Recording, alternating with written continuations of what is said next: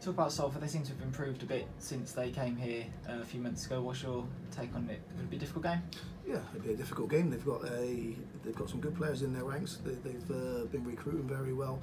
They've got a number of players and a number of options um, that they uh, that they can play. Uh, again, I think having a little bit of an up and down season adjusting to, to League Two which which is which is understandable.